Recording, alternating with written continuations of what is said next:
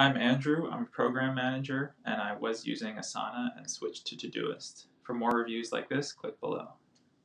I used uh, Asana and Todoist to solve two main problems. One was keeping track of the status of projects, and the other was keeping track of and assigning work to individual team members.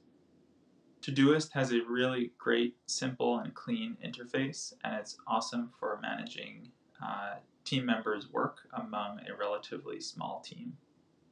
Asana is jam-packed with features, and it's great for managing really large projects across much larger teams.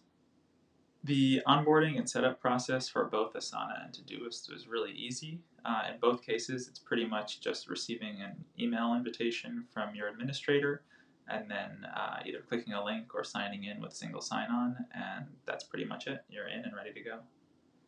My top consideration when looking for this type of software is just matching up the feature set to what you actually need.